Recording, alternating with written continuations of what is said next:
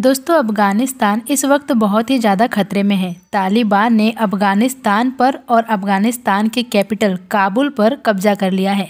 ऐसे में काबुल एयरपोर्ट का वीडियो सोशल मीडिया पर काफ़ी तेज़ी से वायरल हो रहा है, जिसमें हालत बहुत ही ज़्यादा बिगड़ने की वजह से लोग अफ़गानिस्तान से पलायन कर रहे हैं और एयरपोर्ट पर हालात इतने बिगड़ गए हैं कि वहाँ पर पाँव रखने की भी जगह नहीं है। मतलब वहाँ पर बहुत ही ज़्यादा भीड़ हो चुकी है।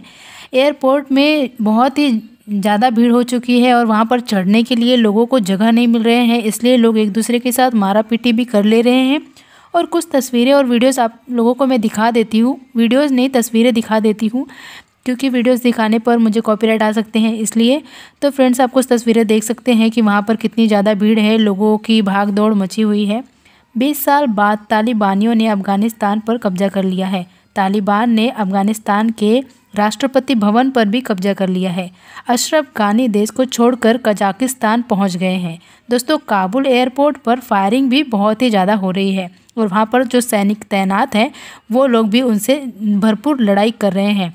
दोस्तों, काबुल एयरपोर्ट पर बहुत ही ज़्यादा फायरिंग हो गई है। इस वजह से कई लोग वहाँ पर घायल भी हो गए हैं। इस वक्त अमेरिका और इंडिया उनका साथ दे रहे हैं। अमेरिका ने काबुल एयरपोर्ट को अपने कब्जे में कर लिया है। सुरक्षा के लिए सैनिक भी वहाँ पर लगा दिए हैं।